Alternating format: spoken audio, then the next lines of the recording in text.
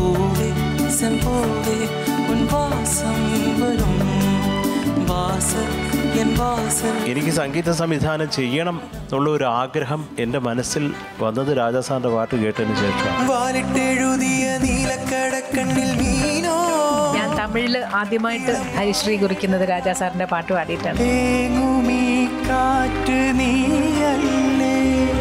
രാജാ സാറിന്റെ കൂടിയുള്ള ഓരോ പാട്ട് പാടാൻ കിട്ടുന്ന അവസരങ്ങളും ഓരോ ബ്ലെസ്സിങ് ആയിട്ടാണ് ഞാൻ കാണുന്നത്. Star singer season eight. ഇന്ന് രാത്രി ഏഴ് മുപ്പതിന്